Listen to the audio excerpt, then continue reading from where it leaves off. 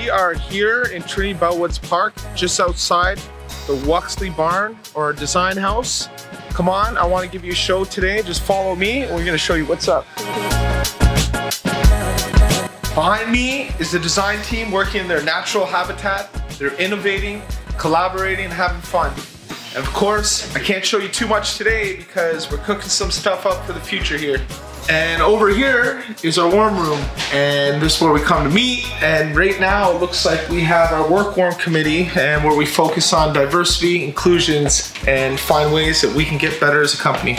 And over here, we have our marketing team working on some of those great visuals and communications, collaborating that we want to deliver to you. Cup cookies? Thank you. Oh yeah. And here we're in front of our retail location, downtown Toronto, Queen Street West.